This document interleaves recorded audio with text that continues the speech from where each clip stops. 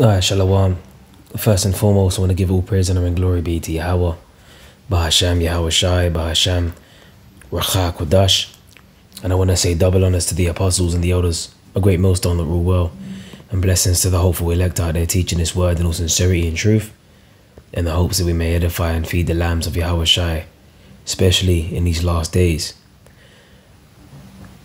And speaking of lambs, I actually want to go into you know, a video concerning animals, specifically, you know, sheep, lamb, um, you know, and revolving around the birth of the one who the world ignorantly calls Jesus Christ, whose name is Yahawashi. All right, and Christ is just a title, all right, which basically means the anointed. Okay, and Yahawashi is his actual name, despite the fact IUIC um, saying that you know, the Lord's name is Jesus the Christ, and you know, which we hate saying that word, but for edification purposes, we have to tell you, oh, like the scripture says, mark them that cause divisions. And in fact, let me get that scripture real quick. All right, let me get that scripture, Romans 16. Because I was watching a video from Elder Apostle to her in response to um, the IUIC, was it IUIC Dallas, I believe? And they were being questioned about um, you know, other sheep that I have which are not of this fold um, by the so-called black woman. And then she actually threw a question to them. She's like, well, you know, what's the basically what's the right name? Because you guys basically talk about, you know, they call her on Jesus, and then I think one of them interrupted and said, you know, Jesus, you know, and then he mentioned Yeshua, and Yah- come on, man. And then he said these are all titles. No, Yahawashi is not a title. Yahawashi is his actual name.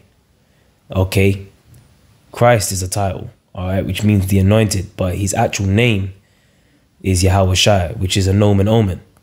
This is Romans chapter 16, verse 17. Now I beseech you, brethren, mark them which cause divisions and offenses contrary to the doctrine which ye have learned and avoid them. So we got to avoid these people and we got to mark them. You know, when you go into that word mark, the word mark there is um uh, should be Scopeo. All right, Scopio. All right, which where you got the word scope in there. It says to look at, observe, contemplate, to mark. All right, to fix one, fix one's eyes upon, direct one's attention to anyone, to look to, to take heed to thyself. So we're supposed to, you know, fix our eyes upon those that are causing division, are contrary to the doctrine that we've learned you know, basically we put the scope on them, we mark them out. All right. And then we tell the congregation to pretty much avoid these people because they're teaching things, you know, direct, uh, in, in direct contrast to what we're, you know, that what we've been taught from our elders and our apostles. All right. Which is, um, you know, the truth. Okay. And this is why we do that. All right. And going back to the Lord's name, I just wanted to get Matthew 1 all right, because um, Yahawashi has a meaning. All right. This is Matthew 1 and 21. And she shall bring forth a son, and thou shalt call his name, which the word there should be Yahawashi. All right. For he shall save his people from their sins. All right. And the letter J didn't even exist. All right. During, during the time of Yahawashi. Okay. In fact, the scriptures even tell you that there was a, um, uh, inscription or uh, uh, Greek. Let me see if I just put in and Latin. See if it will come up by just typing this. Yep, this is uh, John chapter 19. Now these this is what was um uh in fact let me just read it from verse 19. John 19 and 19. Alright, this is uh during the time of Yahawashi when Yahweh got crucified. Okay. And it says, and Pilate wrote a title and put it on the cross. And the writing was Yahweh of Nazareth, King of the Jews. This title then read, Many of the Jews, for the place where Yahweh was, was crucified was nigh, unto, nigh to the city, and it was written in Hebrew and Greek and Latin. All right. Hebrew, Greek, and Latin. All right, and why was it written in Hebrew? Because Yahawashi, he himself is a Hebrew, a Hebrew Israelite from the tribe of Judah. How do we know that? The scriptures tell us in um I believe it's even in Hebrew. it's a Hebrew 7 7 and 14. For it is evident, it is evident that our Lord sprang out of Yahweh, all right? Because there's no such thing as the letter J, okay? Um, until Renaissance language came about. The letter J didn't only come about until what 1524 by John Trissino. All right, so the word there is Yahweh, okay, which even, you know, Yahweh goes back to the name of the Lord, okay, because uh, Yahweh or Judah was a son of um, of Leah, I believe, and she named her son Yahweh, which means thank you, Yahweh, or Yahweh thanks, okay. So it says for it is evident that our Lord sprang out of Judah or Yahweh. Okay, so that shows you what tribe, you know, Yahweh is from. Okay, from the head tribe of the nation of Israel. All right, but the point is, back in John 19 and 20, what was his title, all right, or his name? Okay, and that the uh, the uh, what was written on the cross. All right, the title. Why was it written in Hebrew, Greek, and Latin? Okay? Because the point is, you know, it was written in Hebrew, right? Because you would have had the Hebrews there, uh, Hebrew Israelites, okay? Obviously, that spoke Greek as well. And then you had Latin, because remember, it was during the time of the Roman Empire. And what did they speak? They spoke what? Latin, right? Okay, and the Hebrews for the Israelites. Okay? And get and remember, this was after the time of the Hellenization period, because remember, you had the Greek Empire that came before the Roman Empire. You got something called the Greco-Roman Empire. All right, and during the time of the Greek Empire, what were they speaking? Greek. All right, you had the Hellenization of our people. That's why you got the when the scriptures tell you that Timothy's father was a Greek. All right, what does that tell you? He was a he was an Israelite that didn't know he was an Israelite. All right, he basically followed after the Greekish customs. Okay, so that's why the title was written in the Hebrew, Greek, and Latin. All right. So this is what we have to know here. We have to know a little bit of this history, man. We got to go into this. All right, and I pray this is making sense. So anyway, going back to um, Matthew 1 and 21, and she shall bring forth a son, and thou shalt call his name Yahawashi. And this is what his name means. Yahawashi means he, the deliverer.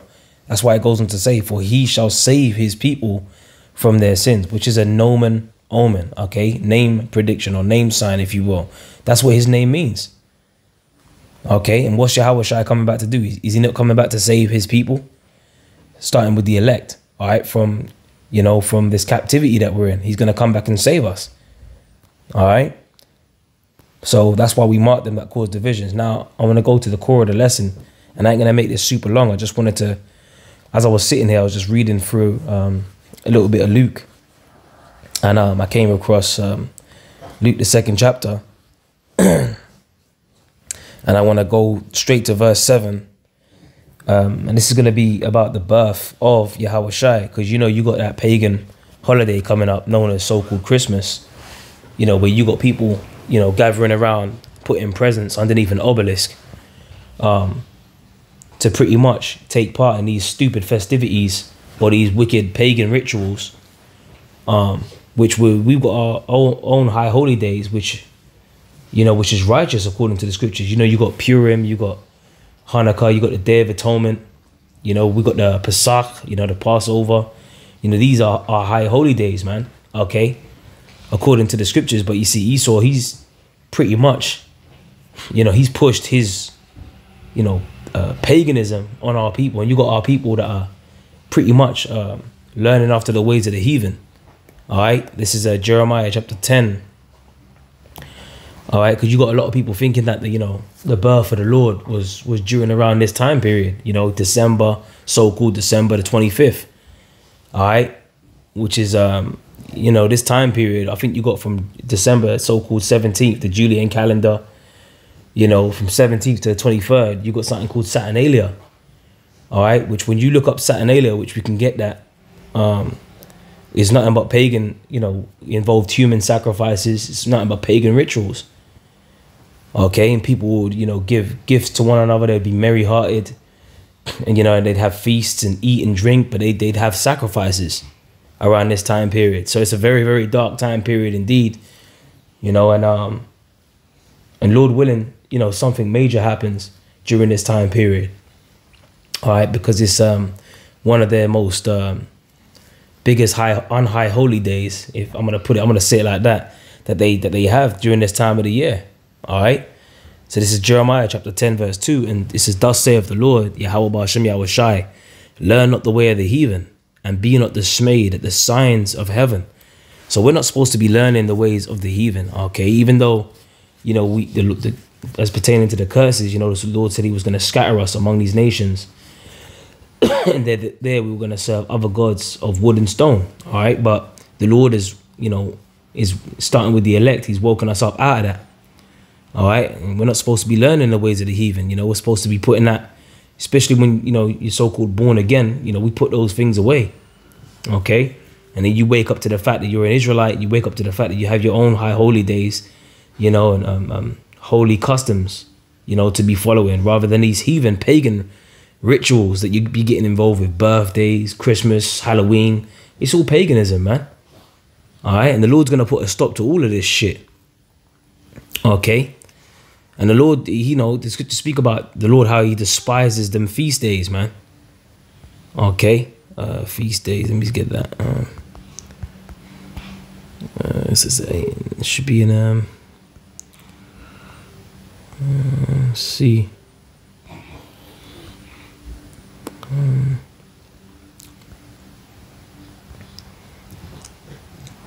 I'm not smelling your solemn assemblies. Let me see. I know somewhere something it might be in is it in Amos? Yep, Amos chapter 5 verse 21. All right, it says I hate I despise your feast days and I will not smell in your solemn assemblies. Okay? In fact, let me read it in the NLT. Verse 21 it says I hate all your all your show and pretense, the hypocrisy of your religious festivals and solemn assemblies I will not accept your burnt offerings and grain offerings. I won't even notice all your choice peace offerings. Away with your noisy hymns of praise. I will not listen to the music of your harps. You see that? Instead, I want to see a mighty flood of justice and an endless river of righteous living. So this is what the Lord is not happy with all of this, man. All these pagan rituals on the left-hand side. He's not happy with this at all. Okay? These people are out here, you know, that and here, and here it is. We're in 2023. You can't even see any so-called uh, Christmas lights on anyone's homes these days. All right, you're lucky if you see uh, one house lit up on the street. When I say lucky, so-called, if you see one house lit up on the street these days, man, because the mirth, the Lord is bringing the mirth of this place down. You know, and that's a fact. That's in um, Isaiah 24. All right, the scriptures speak about all the merry-hearted do sigh. All right. So um, yeah, the Lord is bringing this mirth down. So let's go back to Jeremiah 10 and, and 2. It says, Thus saith the Lord Yahweh Bashem Yahawashi, learn not the way of the heathen, and be not dismayed at the signs of heaven, for the heathen are dismayed at them.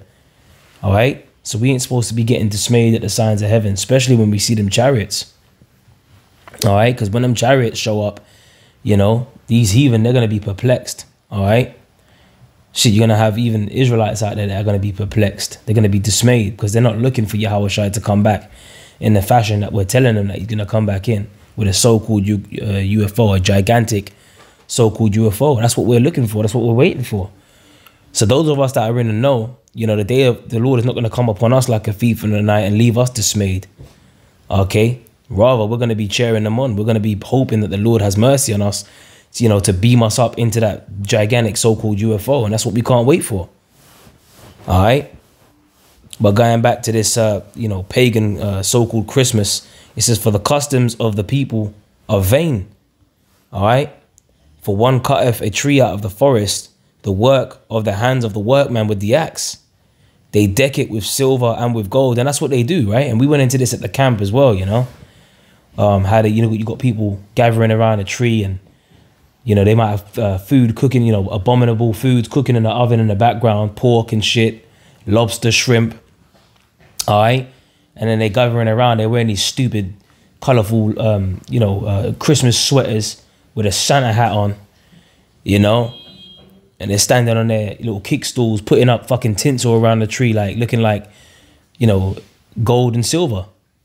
All right, hanging little naked babies off the tree, little golden bells and shit, sticking a star on the top.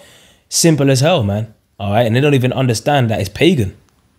All right, so this is what the Lord is is, is pretty much cursing this out. Because this is what they were doing. All right, it says they deck it with silver and with gold. They fasten it with nails and with hammers that it move not. they are upright as the palm tree, but speak not. Yeah, because they're dumb idols, man. All right, the scripture says all the gods of the nations are idols. Okay, it says they must needs. It says, but speak not. They must needs be born, because they cannot go. Be not afraid of them, for they cannot do evil. Neither also is it in them to do good. Yeah, because they're just they're just idols, man. All right, they're not living. We worship a living power. Okay, his name is Yahweh. His son's name is Yahawashi okay, we can actually communicate with our power. We can actually pray to our power and he will listen and he will intervene for us. But you see, these gods of these other nations, man, you know, they ain't to intervene for them. All right, you got Jake mixed up with that. When all hell breaks loose, they're going to call upon these idols and ain't nothing going to be happening for them. All right, it's Jeremiah chapter 2, verse 27. Saying to a stock, Thou art my father, and to a stone, Thou hast brought me forth. Right? Didn't the Lord say that we're going to worship gods of wood and stone? Okay, you got, you know, the wicked of our people, they're going, you know, marching around Kaaba stones, talking about taking a trip to Mecca and all this kind of bullshit. All right, they're praying on these false gods. Okay, it says, and to a stone thou hast brought me forth, for they have turned their back unto me and not their face. But in the time of their trouble, they will say, Arise and save us. But where are thy gods that thou hast made thee? Let them arise if they can save thee in the time of thy trouble. So let's see where these where these so-called gods of yours are gonna be.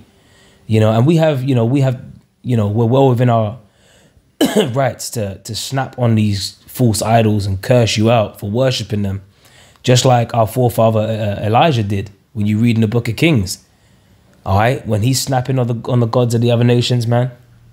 Okay, because I believe there was a time when there was like a or he told them to dig a ditch and fill it with with water and put wood on it and in this in this ditch you know and pour water on it and he said he was going to consume cool fire down from heaven and consume that wood all right and it was like a competition let's see who's got it stronger you know and I don't need to tell you, you know, who won that competition, all right? Because we worship a living power. And Elijah, you best believe he called upon Yahweh, Hashem Yahawashi. All right? And Elijah was snapping on their gods. He was saying, look, uh, where is he? He's going for a nap? Is he going for a walk? You know? So we're well within our right to snap on these people that worship these other these other gods, these false idols. All right, that can't speak, they're dumb, deaf, and blind. All right. So let's um let's go back to Luke chapter two now and seven. And she brought forth her firstborn son, and, and I know I'm kind of all over the place, but I just had to you know, segue into that just for edification purposes that we ain't supposed to be worshiping, you know, the gods of these other nations, man. These false idols, okay? And this here, what I'm about to go into, is going to cut the whole fact that these people out here, they kept, you know, they, they said that they're worshiping or they're celebrating the birth of our Lord, all right, which they believe is around this time period, so called December 25th and that, when the scripture that has no December the 25th you know, uh, mentioned from Genesis to Revelation. There's no December. There's no mention of Gen- uh, Gen- uh, December the 25th. There's no mention that the, the, that our Lord was born in the winter. There was no mention of that. Okay. In fact, Yahawashi, in fact, he was actually born, right, in the spring. Okay. He was actually born in the spring, and spring represents life. This is Luke chapter 2, verse 7. And she brought forth her firstborn son and wrapped him in swaddling clothes and laid him in a manger, right? Because there was no room for them at the inn, all right, or in the inn, all right?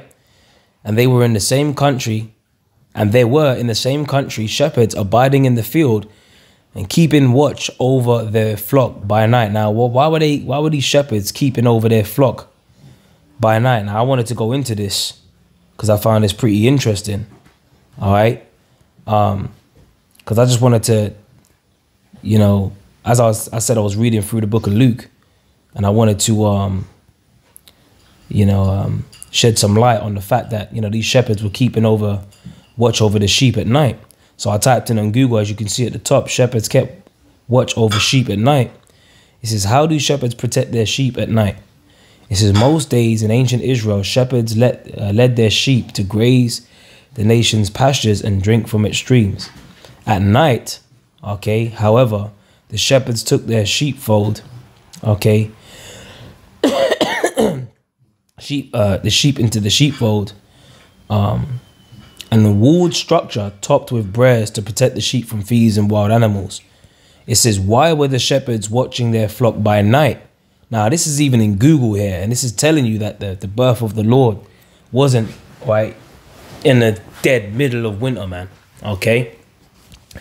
They're even going to tell you right here, because you got something called lambing season, and I'm going to go into that as well. I remember that was one time, you know, the apostles were going into the main camp. They were talking about lambing season, which I'm going to Google I haven't actually got a tab of it pulled up, but I'm going to Google it after this, Lord willing, if I don't forget. All right. It says, Why were the shepherds watching their flock by night? It says, Ewes are basically helpless when giving birth. Okay. Now, the question is, is when do these uh, lambs, when do they start to give birth? Okay. During the springtime. All right. It's called lambing season. It says, So the shepherds stayed with them to see that newborn lambs are dried off and kept warm during that first cold night. And why would it be a cold night? Because in the beginning of spring, you have that transition from winter. Okay, so it's still cold. At nighttime, it still gets cold. Okay, but in the daytime, you know, it warms up, you know, the sun shining, you start to see the leaves budding because it's a time of it's a time of life. Okay, but at the nighttime it still gets cold.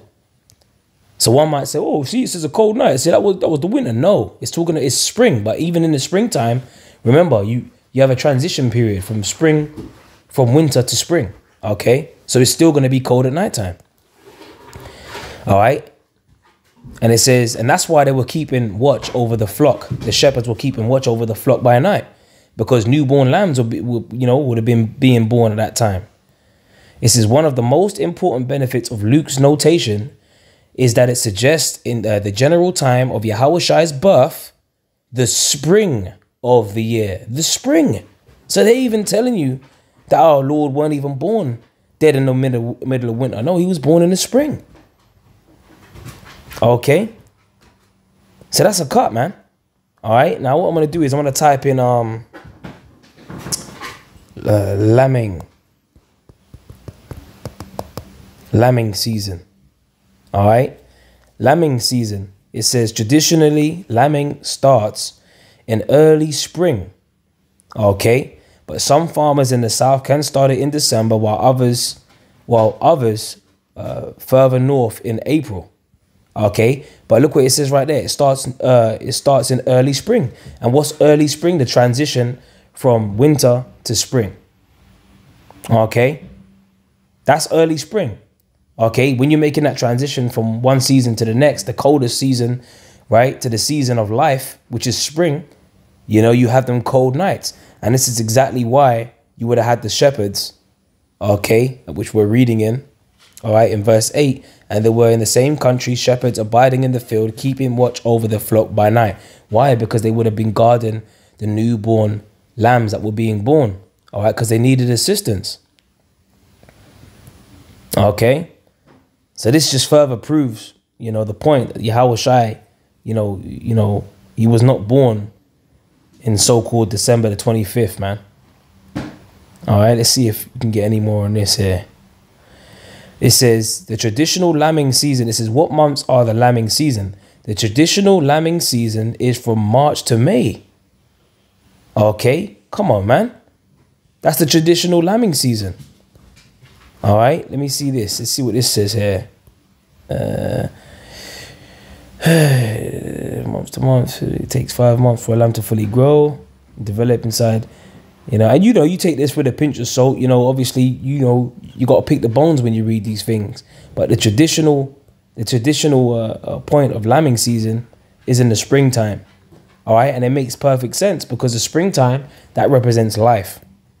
Okay, and furthermore, we even know that um, even when you go back to the book of Genesis, because we know that Isaac, that was Yahawashi. You know, Yahawashi, Isaac came back as Yahawashi. Okay, because uh, reincarnation is biblical. All right, and um, one of the angels even told Sarah that when she was gonna, you know, give uh, give birth, Sarah laughed. Okay, in fact, uh, let me see if I can get this one here. Yep. This is uh, Genesis chapter 18. And um,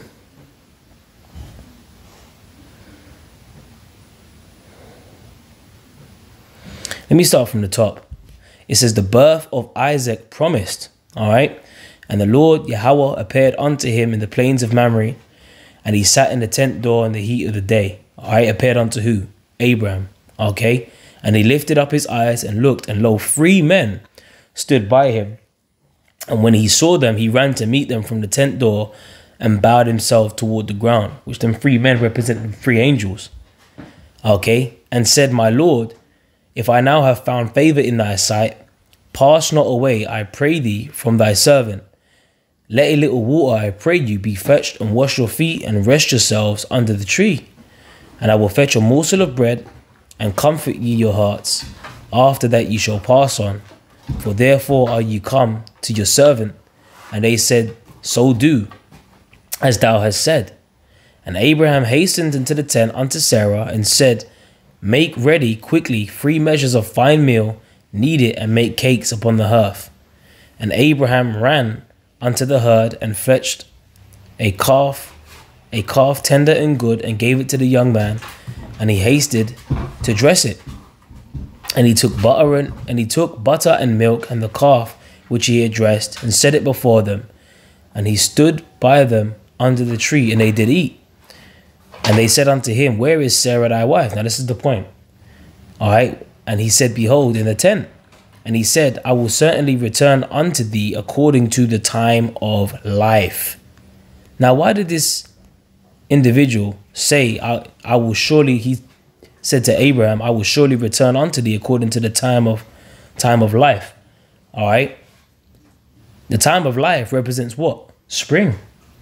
All right. And that's how we know that, you know, Isaac, because remember, we was in verse 10. This is the birth of Isaac promised. That's Yahawashi. Okay. So if you're spiritual, you will understand.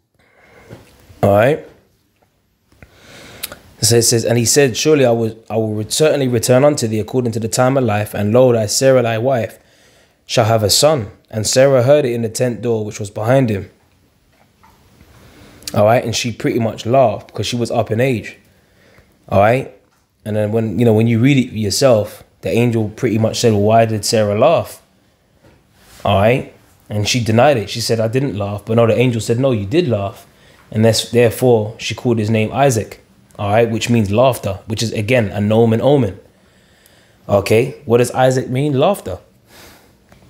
All right, but the point is, he said, I will return unto you during the time of life. All right, now what season represents a time of life? Spring. Okay, in fact, we can even type that in. What season represents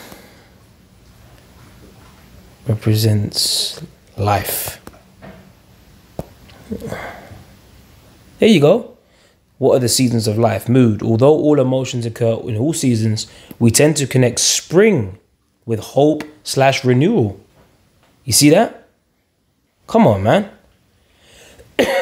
so the time of life represents the time of spring. All right. And how else do we know that Isaac was Yahawashi. Okay, is because um even when the Lord told Abraham, our forefather Abraham, to sacrifice his son, all right, did Isaac not get laid down on the, on the wood? All right, and did not the Lord provide a, a, a ram that was caught in a thicket? Okay? See, these are the things, you know, that we've been taught by our elders and our apostles over the years, and it makes perfect, perfect sense to us, man. And you have to be spiritual to understand these things. And if you don't understand these things, you just ain't gonna get it. All right? And I said all of that just to say this. Look, man, Yahawashi, you know, he was um he was born in the springtime. Okay? He weren't born in no December the 25th. Okay, that got again, it goes back to pagan uh, festivities. All right, and I mentioned earlier Saturnalia. Uh, you got something called Saturnalia festivals. All right, and this is what that time period in December goes back to. All right, um, it says a Saturnalia is an ancient Roman festival, a holiday in honor in honor of the god Saturn. Okay, held on 17th of December of the Julian calendar and later expanded with festivities through to the 23rd of December. The holiday was uh, celebrated with sacrifice at the temple of Saturn. All right, it was celebrated with, with sacrifice, man. All right, what was they doing at this, um, you know, this temple of Saturn? Let's see if we can get anything on here. Um, and what we can do is we can just type in, um, if we type in, um, let's see, Temple of Saturn. Sacrifice. Let's see what comes up.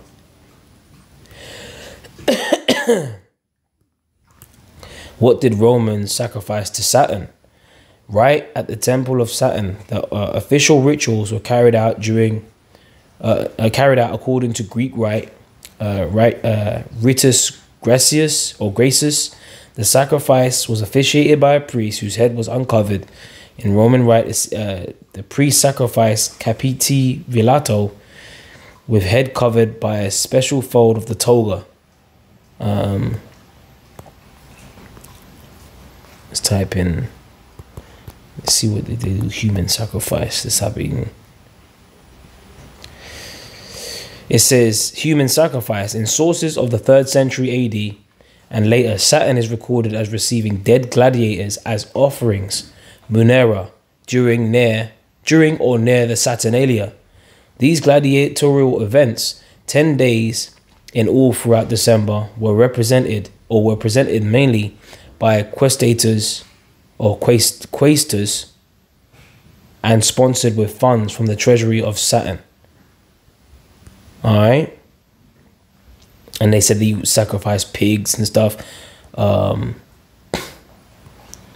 uh, the Roman uh, were human sacrifice during Saturnalia. The Roman historian Livy even records a human sacrifice during Saturnalia. So it says victims were slain at the temple of Saturn in Rome in order to muster favor with the gods during the Second Punic War uh, following the military success of, of Hannibal. So this is what they're telling you. All right, what this really goes back to, man, human sacrifice, and you got people out here, you know, worshiping, um, you know, Christmas and so on and so forth. It's all pagan, man. All right, which you know, you can go deeper into it if you want in your own time. I just wanted to do that just to make the point. All right, because like I said, I was reading through the book of Luke, and um, I was just moved, you know, to do a video on this because since we're coming to that time of the year, you know, to shed light on the fact that you know the Lord you know, was born during the time of life, which is spring. Okay? So with that, you know, I pray this was edifying. You know, um, just a little quick video there. Until the next time. Shalom.